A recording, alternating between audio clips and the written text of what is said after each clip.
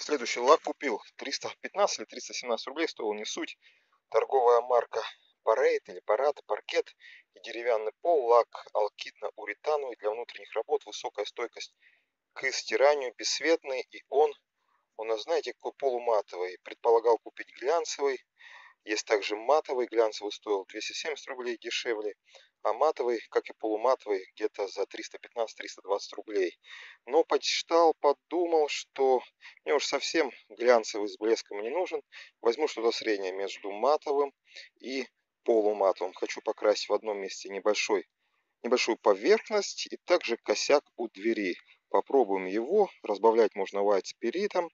Тщательно перемешать, взболтать, наносить в 2-3 слоя с интервалом 12 часов. У него тут заявлено, знаете, какая сохнет? Сохнет он за сколько время высыхания при температуре 20 и относительной влажности воздуха 70%, на отлип 3-4 между слоями 12 часов. Ну, в общем, я сейчас один раз слой нанесу, завтра буду второй слой. Посмотрим, может и одного будет достаточно. Лак у нас такого желтоватого цвета. В этом месте сейчас косяк подкрашу. Дом деревянный. Посмотрим, как все это будет выглядеть. В принципе, я здесь цикле уже поработал шкуркой. Снял грязь старую. Должно получиться такая текстура у дерева от времени. Косяк был где-то лет 20 назад возведен, как вся прихожая. Сейчас посмотрим, как это будет с лаком выглядеть. Подкрасил, в принципе, но можно было ее и не покупать. Да, естественно, заплестело, но толку от этого особо нет. Оставить, в принципе, возможно было все, как оно и до покрытия лаком присутствовало.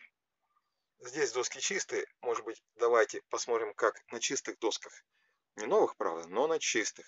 Все это ляжет и будет выглядеть. Две доски верхние покрыл лаком, а вот эту третью, нижнюю нет. Ну так, заметнее здесь. Может быть, свет падает по-иному, чем предыдущем, где я на косяке показывал, в принципе, смотрится неплохо.